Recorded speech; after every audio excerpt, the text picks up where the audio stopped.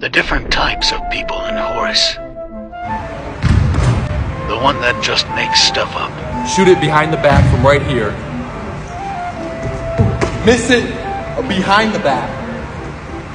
Catch it there. Put it up. Get it. Behind back. And then you get it and shoot it normally. Wow, he's good. The one that only shoots impossible shots. You're gonna throw it off the backboard into the other hoop.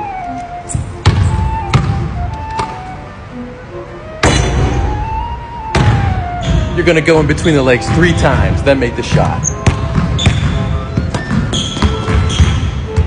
You never make anything ever. Shoot easier shots. This is why I win every time.